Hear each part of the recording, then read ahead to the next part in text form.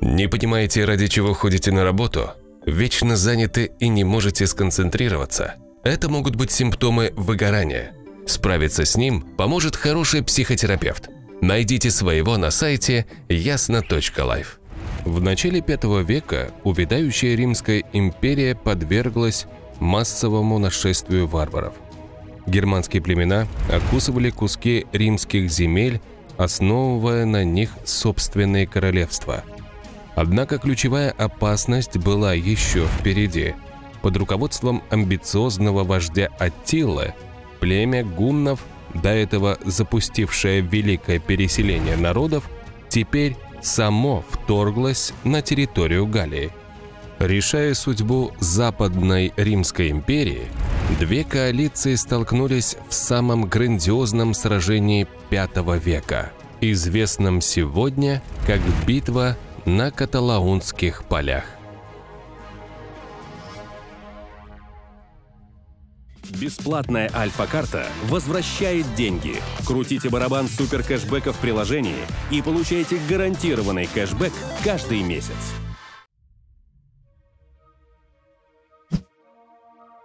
К середине IV века нашей эры Римская империя господствовала в Западной Евразии уже несколько сотен лет – хотя прочность ее государственной машины нередко подвергалась испытаниям. Самым тяжелым вызовом для империи стал так называемый кризис третьего века, период тяжелых политических и социально-экономических потрясений, сопровождавшийся гражданскими войнами и варварскими нашествиями.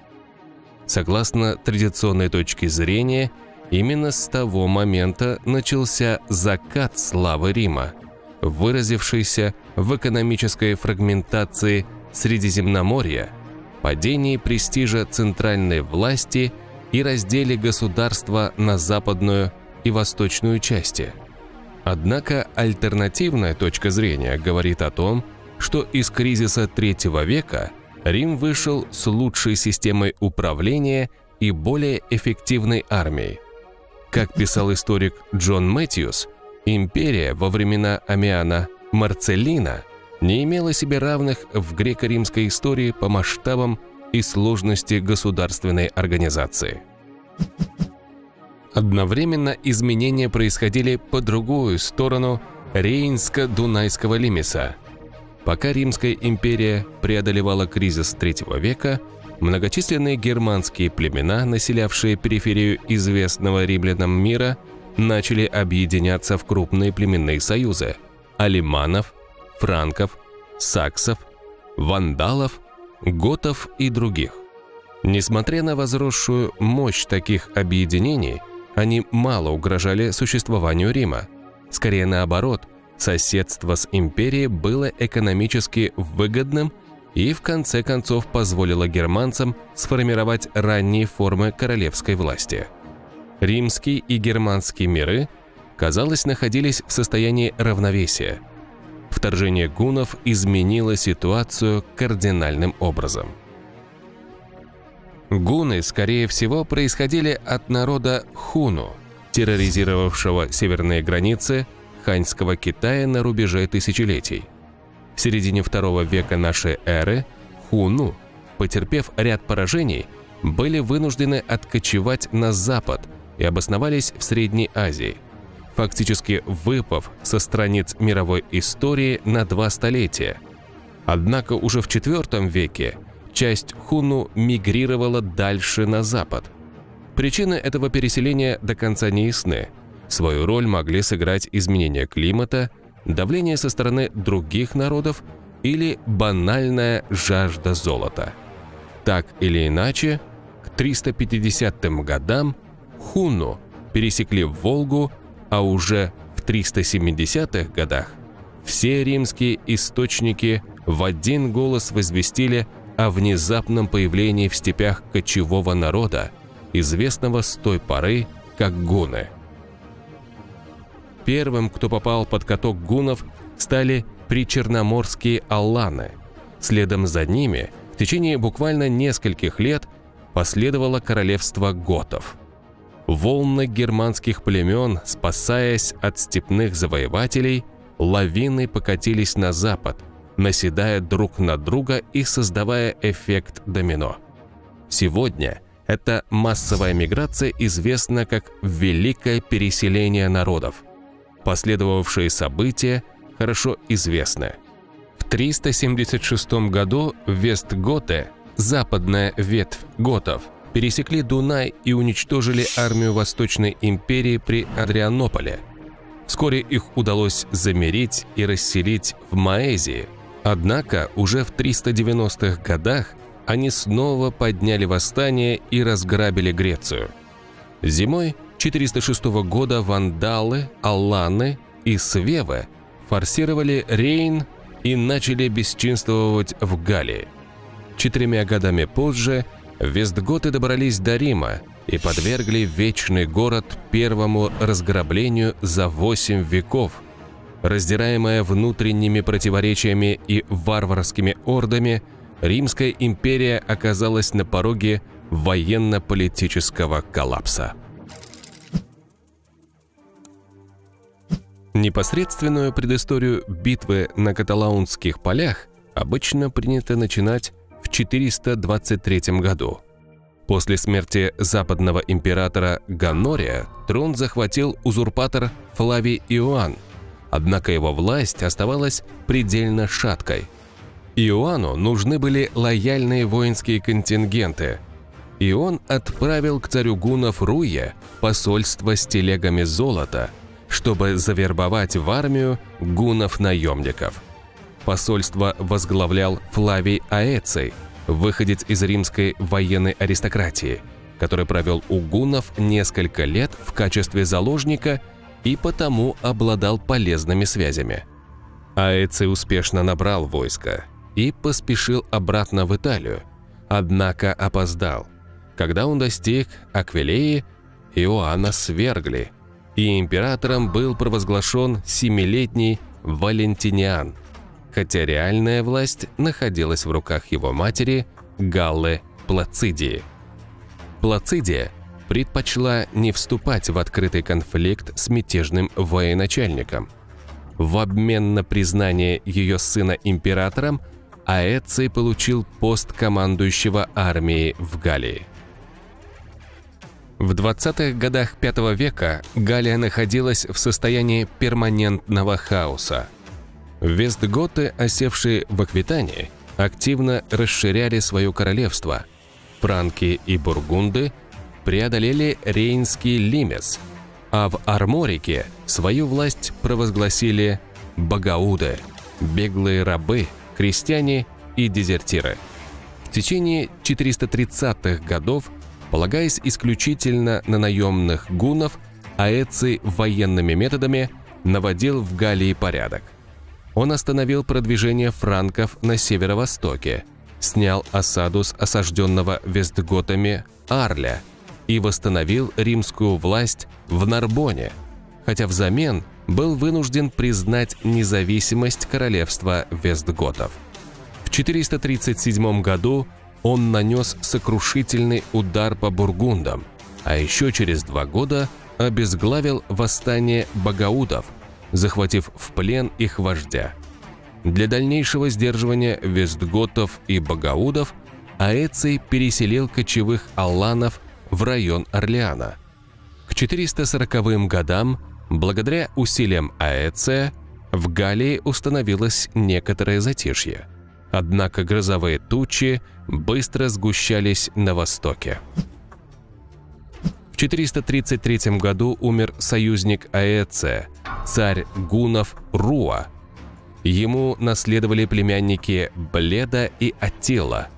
Но уже вскоре Бледу постиг несчастный случай на охоте. Вполне возможно, Аттила – подстроил убийство брата, хотя мы не можем утверждать это наверняка. Так или иначе, для укрепления своей власти Аттила перешел к крайне агрессивной внешней политике. Он запретил гунам поступать на военную службу к Риму, что должно было серьезно ухудшить положение Аэция. В ходе двух походов в 441-42 и 447 годах гунны опустошили Балканы. чуть было не захватили Константинополь, и к 448 году взымали с Восточной империи дань в размере трех тонн золота ежегодно. Теперь, когда Дунайское пограничье было окончательно разорено, Атила начал искать источник богатства и славы в другом месте. Его взор обратился на Западную империю. Повод для вторжения появился у Аттилы случайно. Около 450 года сестра Валентиниана Ганория после серии придворных интриг была выдана замуж по расчету. Недовольная своим положением, Ганория отослала Аттиле письмо с просьбой о спасении, приложив к нему именной перстень. Неизвестно, действительно ли перстень символизировал предложение руки и сердца – но Атила, по-видимому, именно так его и воспринял, потребовав у Валентиниана половину Галлии в качестве приданного.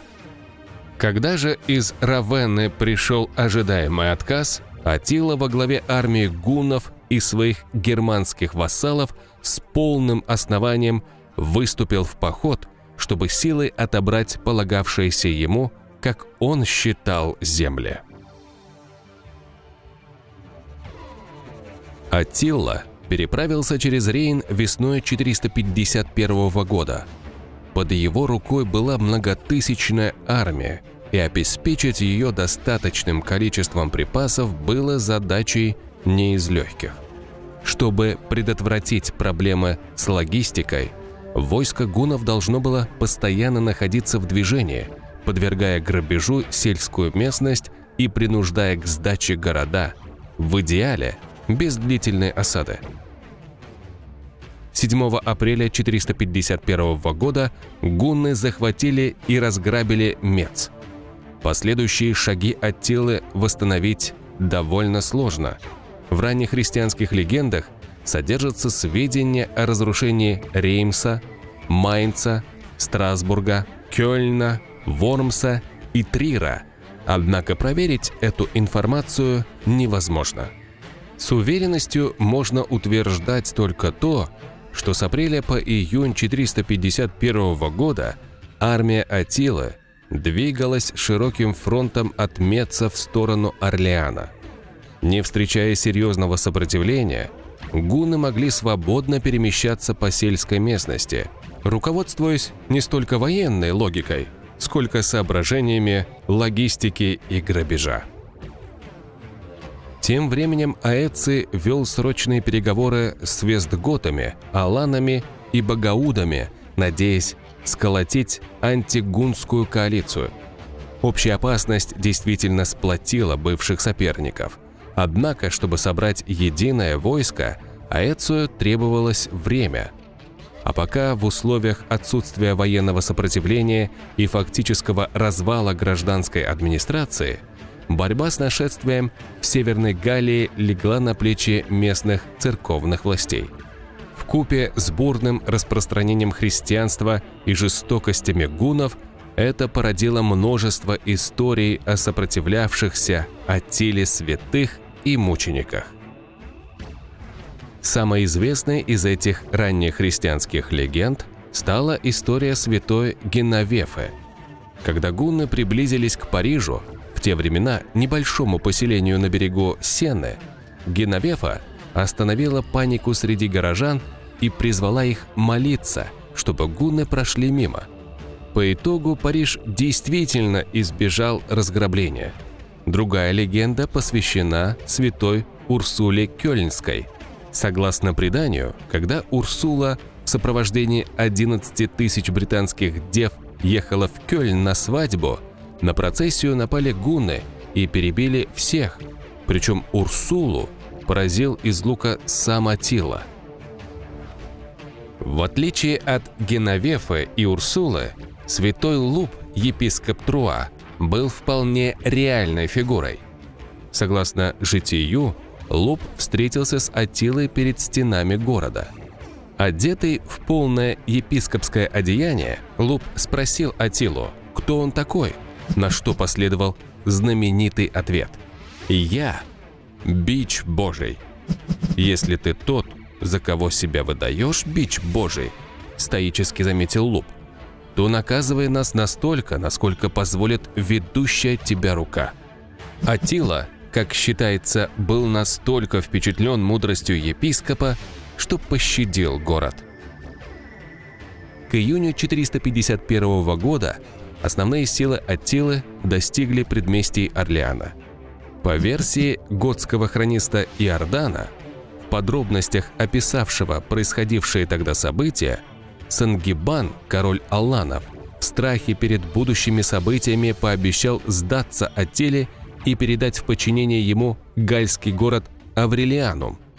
Если верить истории о местном святом, Аттила осадил город, но не смог его захватить благодаря очередному божественному вмешательству. Скорее всего, это тоже выдумка. По версии Иордана, объединенные силы Аэца и короля Вестготов Теодориха достигли города первыми и успели укрепить его земляными валами. Аттила внезапно оказался перед тяжелым выбором – Штурмовать Орлеан, набитый римлянами, вестготами и аланами, было тактически самоубийством, а длительная осада неизбежно вызвала бы проблемы с логистикой. С другой стороны, возвращаться обратно за Рейн, собрав такую армию вторжения, Аттила тоже не мог.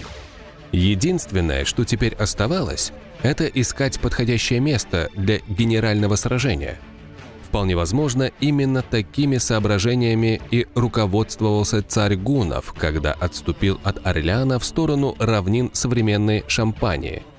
Аэций и Теодорих возглавили преследование гунов, следуя несколькими параллельными путями.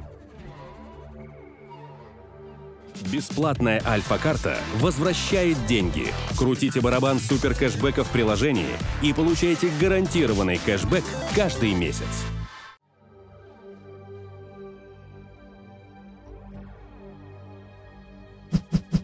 Сошлись стороны на каталаунских полях. Место это было отлогое, оно как бы вспучивалось, вырастало вершиной холма – так описывал Иордан место сражения. Указанные хронистом каталаунские поля современные исследователи уверенно соотносят с античным городом Дуро Каталаунум, сегодня Шалон-ан-Шампань. Однако окружающие его земельные угодья простираются на десятки километров, из-за чего определить конкретный холм, рядом с которым произошло сражение, долгое время считалось невозможным. К счастью, свидетельства о сражении этим не ограничиваются. Несколько ранее в своей работе Иордан также указывает, что сошлись на каталаунских полях, которые иначе называют мауриакскими. Название Маурика фигурирует и в других письменных источниках. Так, продолжение к хронике Проспера Аквитанского позволяет определить местоположение Маурики – произошло сражение на пятой миле от Трикассе, Труа, в местности, именуемой Маурика, на ее полях. Окрестности Труа представляют собой совершенно плоскую равнину. Однако в пяти милях к западу от города местность действительно вспучивается, образуя холм в точном соответствии с описанием Иордана. Сегодня этот холм известен как Мангё – Однако еще в XIX веке территория вокруг него называлась Лемор, подтверждая гипотезу, что это то самое место, где встретились войска Аттилы и Аэция. Современные исследователи также обратили внимание на несколько леденящих душу топографических названий. Поле у подножия холма Мангё называется Ленфер – или ад. В сторону Труа течет небольшой ручей, район которого известен как Ла Ривьер де Кор, дословно «река тел». По-видимому, это дальние отзвуки произошедшего здесь масштабного побоища. На сегодняшний день окрестности холма Мангё считаются наиболее правдоподобным местом битвы на каталаунских полях, хотя недостаток археологических находок пока не позволяет окончательно отвергнуть альтернативные версии. К утру 20 июня 451 года Аттила достиг берега Сены и прекратил отступление, собираясь дать Аэцию генеральное сражение на равнинной местности, идеально подходившей для его конных лучников. Пока гунны с союзниками разворачивали военный лагерь, их разъезды следили за приближением сил Аэция, а передовой отряд, по-видимому, заехал на холм Мангё, с которого открывался отличный вид на окрестности. Это обстоятельство могло бы сильно затруднить развертывание подходившей армии Аэция, и римский военачальник поручил вестготской кавалерии под командованием Торисмунда, сына вестготского короля, выбить гунов с возвышенности. Бой на холме Мангё стал прелюдией к основному сражению. Форма холма благоприятствовала атакующим. По пологому западному склону вестготские всадники смогли быстро въехать на вершину. По мере приближения вестготов гунский разъезд старался выдерживать дистанцию, разделяясь на небольшие группы и изматывая врага стрелами. Вскоре, однако, у гунов стало заканчиваться пространство для маневра. Под натиском вестготов конные стрелки Аттилы рисковали оказаться прижатыми к крутому восточному склону.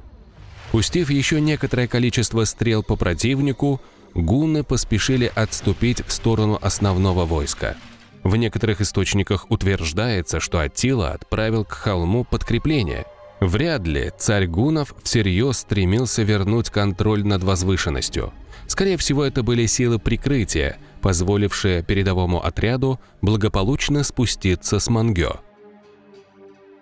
Пока происходили события на холме, Аэций разворачивал остальную армию на равнине.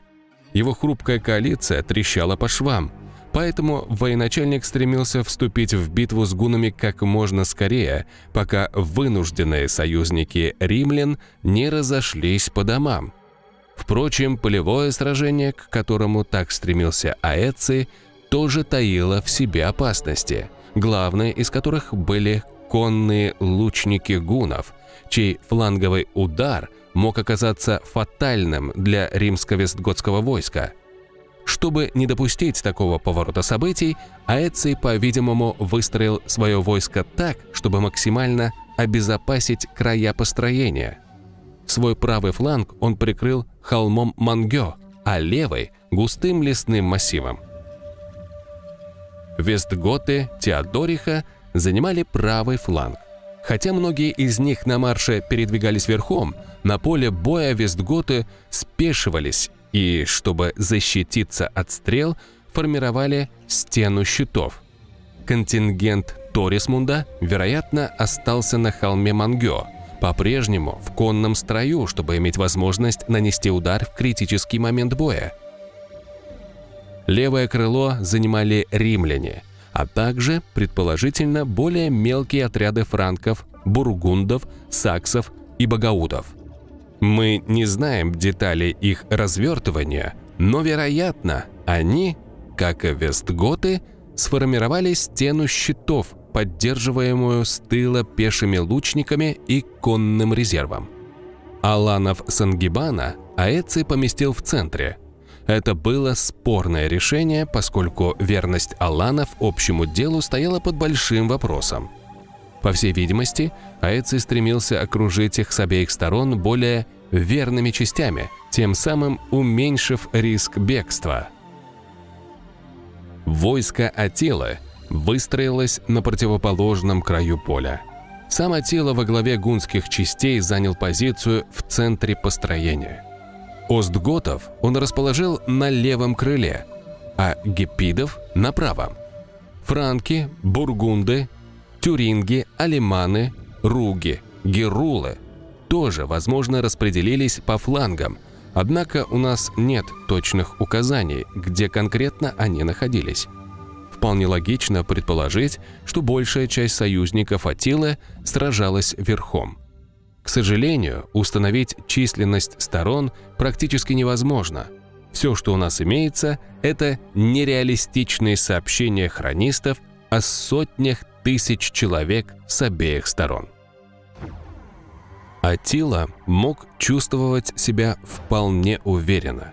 Он никогда до этого не терпел поражений, а его армия хорошо отдохнула после долгого марша. Иордан, тем не менее, рисует совсем другую картину.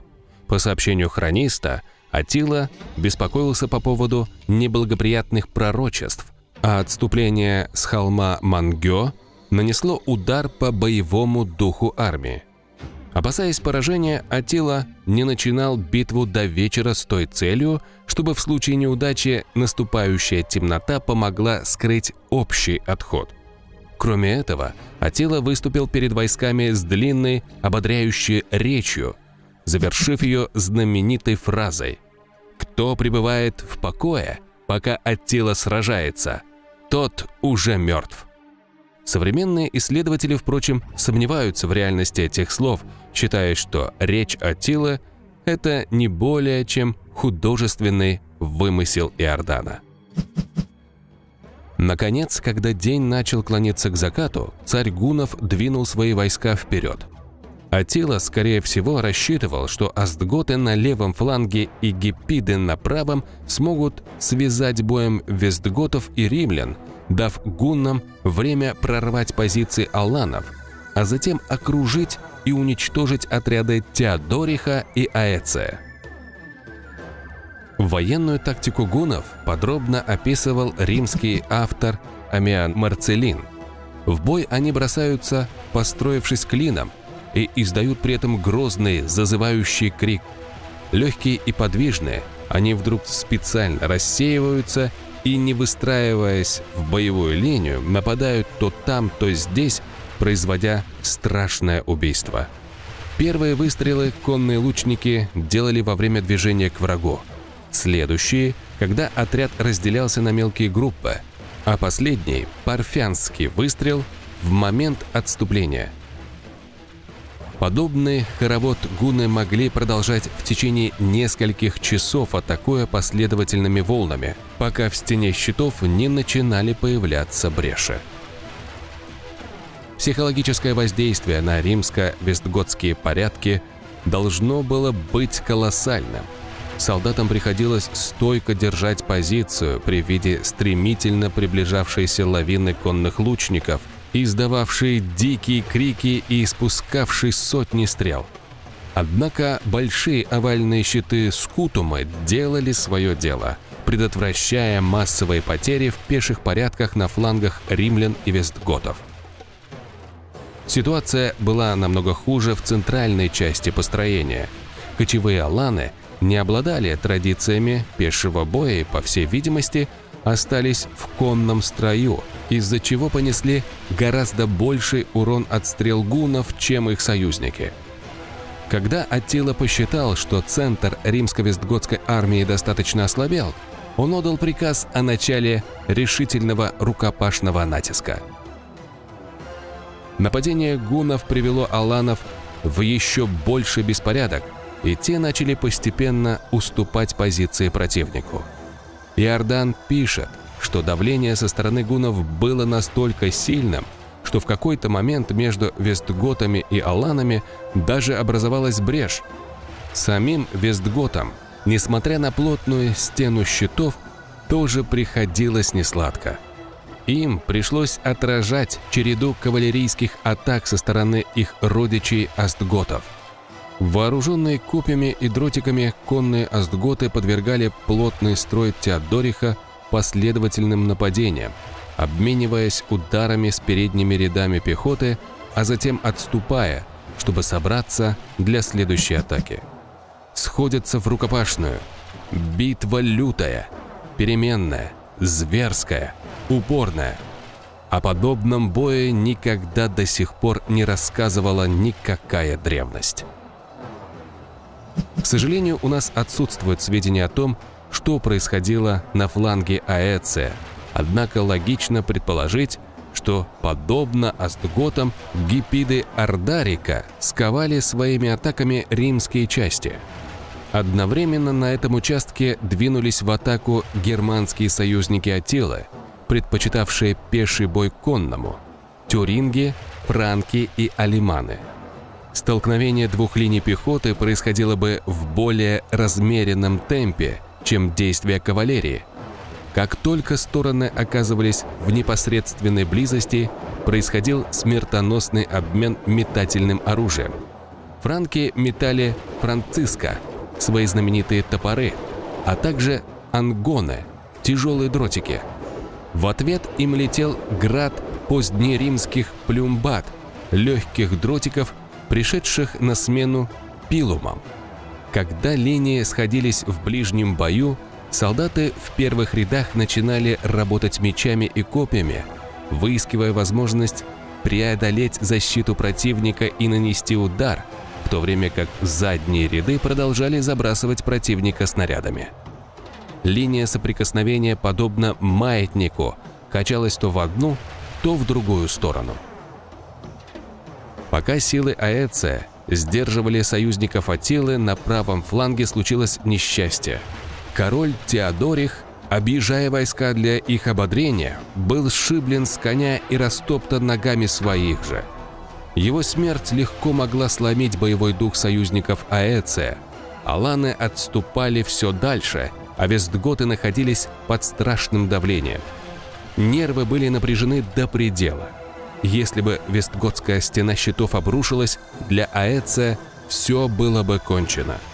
Однако в этот критический момент на поле выехал конный отряд Торисмунда, до сих пор остававшийся на возвышенности. Внезапная кавалерийская атака во фланг войскам Атилы произвела сокрушительный эффект. Сражавшиеся здесь астготы наверняка попали в частичное окружение и вынуждены были прорываться назад с большими потерями. Вполне возможно, из-за произошедшего здесь побоища это место и получило название Ад. Иордан подразумевает, что после флангового удара Торисмунда гуны и их союзники немедленно прервали натиск и начали отступление в сторону укрепленного лагеря. Реконструировать заключительные этапы битвы можно лишь приблизительно. По мере отступления битва продолжала бушевать на всем протяжении равнины. Некоторые отряды конных лучников, должно быть, прикрывали отход, задерживая преследователей, а затем отступая под защиту основных сил. К тому же как и рассчитывал Аттила, на поле постепенно опускалась темнота, что делало дальнейшее преследование невозможным. Римляне и вестготы остались ночевать прямо на поле, рядом с лагерем Аттилы. На следующий день Аэций и его союзники собрались, чтобы обсудить дальнейшие шаги. Решено было взять полевые укрепления гунов в осаду – лагерь Атилы теперь был отрезан от снабжения, в то время как армия Аэция могла восполнять запасы провизии в Труа и его окрестностях. Атила тем временем готовился принять героическую смерть. По словам Иордана, он соорудил костер из конских седел и собирался броситься в пламя, если бы противник прорвался, чтобы никто не возрадовался его ранению и чтобы господин столь многих племен не попал во власть врагов. Нападение на лагерь гунов действительно могло состояться. Вестготы обнаружили тело павшего короля, и Торисмунд, ставший новым лидером вестготов, стал настаивать на проведении штурма. Но Аэций не только отговорил Торисмунда – но и посоветовал ему немедленно возвратиться в свои владения, пока власть над королевством не узурпировали братья. Почему римский военачальник, имея прекрасную возможность покончить с гунами раз и навсегда, не воспользовался таким шансом, вызвало споры еще у современников битвы. Иордан считал, что Аэци опасался чрезмерного усиления готов, а хроника Фредегара указывает – что его подкупил Атила. Эти соображения вполне возможно являются выдумкой. Однако все источники неизменно характеризуют Аэция как хитрого политика, приверженного римской максиме «разделяй и властвуй». Так, непостоянство человеческое лишь только встретится с подозрениями, пресекает то великое, что готово совершиться. Горько завершал Иордан рассказ о сражении.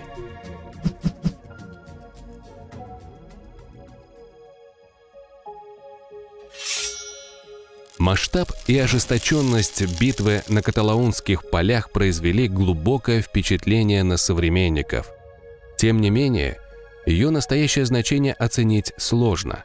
Победа римлян не предотвратила окончательный развал Западной империи двумя десятилетиями позже. Но в чем Аэций действительно преуспел, это в сохранении достижений античной цивилизации в Северной Галлии, которые в случае победы Аттилы наверняка оказались бы утеряны. Отдавая дань уважения его политическим, дипломатическим и военным талантам, современники заслуженно наградили Аэция почетным эпитетом «последний римлянин». Но какой бы знаменательной ни была его победа, правда заключалась в том, что Атила еще не был полностью побежден. Царь Гунов не смог завоевать Галлию, однако его власть оставалась безграничной, а амбиции – необузданными. Уже на следующий год Атила вторгся в Италию, подвергнув разграблению Аквилею, Милан и Павию. Разрушение Аквилеи было настолько масштабным, что население предпочло не возвращаться в город и основало в лагуне Адриатического моря новое поселение – Венецию. По словам хронистов, Атила хотел двинуться и на Рим, однако не стал искушать судьбу и покинул Италию. Традиционно считается, что Атила принял это решение после аудиенции с папой Львом I. Однако другое, более приземленное объяснение состоит в том, что армия Атилы страдала от голода и чумы. Как бы то ни было, к концу года гунны отступили за Дунай. Уже через три года после битвы на Каталаунских полях большинство ее участников были мертвы. Торисмунд погиб 453 году в результате дворцового переворота, о котором его предупреждал Аэций, и королем Вестготов стал брат Торисмунда Теодорих II. В том же году, во время пира, посвященного своей новой жене, умер Атила. Смерть вождя вызвала быстрый развал его империи – сопровождавшейся восстанием германских вассалов. Возглавляемые Ардарихом, правой рукой Аттилы на каталаунских полях, Гепиды и другие германские племена окончательно разгромили гунов в битве при Недао в 454 году. Судьба была не более благосклонна и к Аэцию. Император Валентиниан никогда не питал к нему симпатий – и с угасанием гунской угрозы потребность в военном таланте Аэция отпала. В сентябре 454 года Валентиниан вызвал последнего римлянина в Равену и собственноручно прикончил его. В следующем году два гунских телохранителя Аэция отомстили Валентиниану той же монетой. История античной цивилизации стремительно приближалась к своему завершению. Уже через 23 года Западная Римская империя прекратит существование, ознаменовав начало новой эпохи в европейской истории. Бесплатная альфа-карта возвращает деньги. Крутите барабан супер кэшбэка в приложении и получайте гарантированный кэшбэк каждый месяц. Друзья, если вам понравился этот документальный ролик, не забудьте поставить ему лайк, подписаться на канал и включить уведомления о новых публикациях. Теперь вы можете поддержать нас на Бусти, а также другими способами, указанными в описании. Большое спасибо за просмотр и удачи!